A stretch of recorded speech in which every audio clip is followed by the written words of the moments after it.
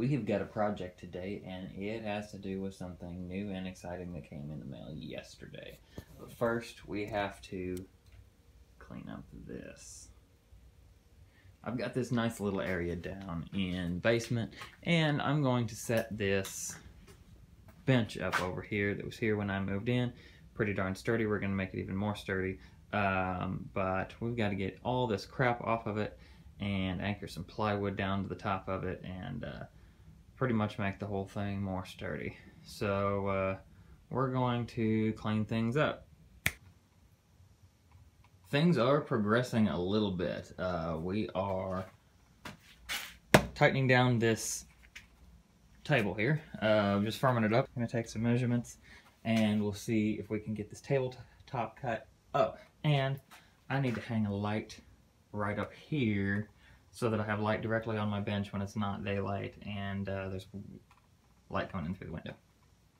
I desperately need to wire in here, but for now, the light is rednecked in place, and we've got great light over the bench. We should be able to load over here, no problem. Silly me, or uh, stupid me, as you might say. The bolts I got um, are not long enough. I hadn't thought about doubling up these 2x4s before. So these, this is just a sim simulation of about the thickness of the plywood. The bolt is just barely long enough uh, to go through all of these, but once you add the press, um, it'd be clear up here, so that's not going to fly. What I'm going to do, um, I think this is going to be sturdy enough without this board. If I need it, I will drill it. I'll buy longer bolts, and we'll mount it up then, if I need it. Um, who knows if we even will. Okay, this is just to get kind of an idea of how it's going to go on here. We're still waiting for drill batteries to charge, and I'm trying to get an idea as to just how to cut my plywood. Because I have this sheet of 3 quarter inch plywood, which is actually, they're now listing it at Lowe's 23, 30 seconds, which I think is dumb. Um, but anyway, $35 sheet of plywood. I really only want to have to cut it once. Uh, so just kind of getting an idea of how this is going to work. Gives me plenty of throw. This thing is spaced really well. One thing, and I'll talk about this later, that led me to purchase the Hornady press rather than the others is this angle right here. I am right-handed, so I will use the lever with my right hand and I'll stick shells in with my left hand. Having this side open and not having to reach around the bar to stick the shell in is a huge part of why I chose this Hornady press.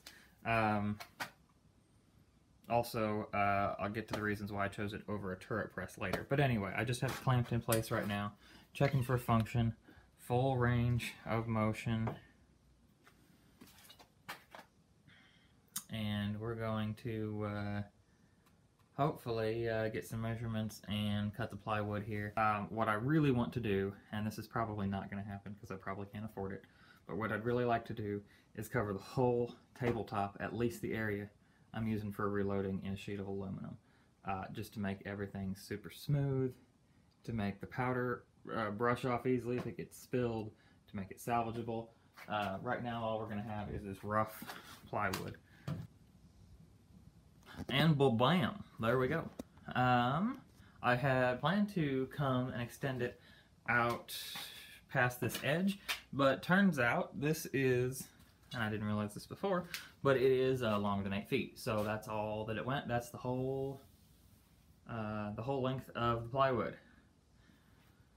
Have you ever tried to freehand cut a 3 quarter inch thick sheet of plywood, freehand with a circular saw.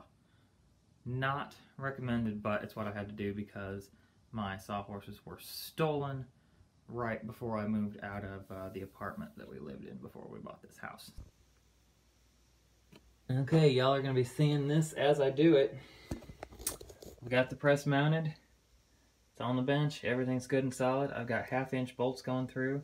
I have not opened the packages. I have assembled the the press. I'm going to try to set my camera up so y'all can see it as I do this. We're going to go for it. So here I have the uh, the Hornady lock and load bushings. Never touched one before. Let's uh, let's see how they go. I just need one of them for now. Like I said, my goal my goal is to decap one 9 mil casing. There's the bushing. There's our one 9 mil Luger casing. Put all the rest of this aside. So I'm just going to check out and see how this, uh, oh, you know what? I better not pop this bushing in without a die in it. I might not get it back out very easy. Alright, let's open up my set of Hornady dies. I got the Hornady dies because they were a good value. Uh, they're on sale, they got good reviews. And uh, they're offering right now a uh, 100 free bullets with each set of die, set of dies. So I figured it was worth a shot. I haven't reloaded in quite a while, and the only case I've reloaded for before was 9mm. That was my, on my, my dad's reloading setup uh, several years ago, back when I still lived with them. Alright, so here is the die set. You can see it there. Uh, this is really, really nice looking stuff. Uh, I've got a seating stem right in here. Uh, oh, there's a spot for the shell holder in here. That's kind of nice. It's even, oops, I knew I was going to do that. It's even uh, labeled in there. You probably can't see it, but it's labeled for the shell holder. Unfortunately, these don't come with the shell holders. I did have to buy these separate. All right. Uh, this appears to be the... Yeah, it looks like a seat and crimps. Uh, oh, yeah. They're labeled under where they are. Uh, expander button.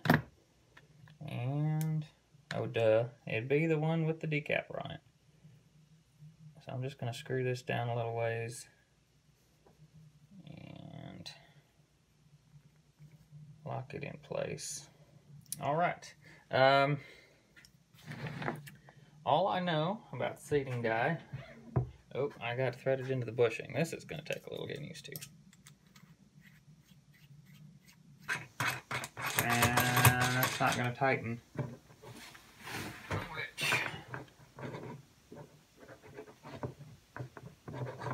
Which, uh, oh, brain fart. Okay, I'm a newbie here, and it's really going to show. I don't have a shell holder in here. Give me 10 seconds while I go get a shell holder. And we have a shell holder. Uh, I had put the uh, hand primer together to test it and put the shell holder right in here. So I'm just going to pop this shell holder out.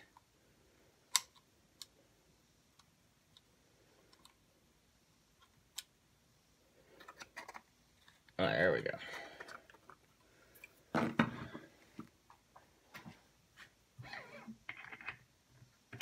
Hey, something tells me that's going to work a little bit. Yeah. Up. This is down. I'm going to push it against. All right, it's tightened. I'm just decapping one. So we're going to go for it. All right, everything's lining up. It's going in.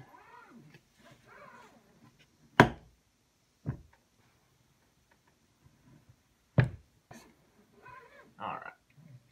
Our decapping pin is not set low enough. It said to put it 3 16ths out, I guessed.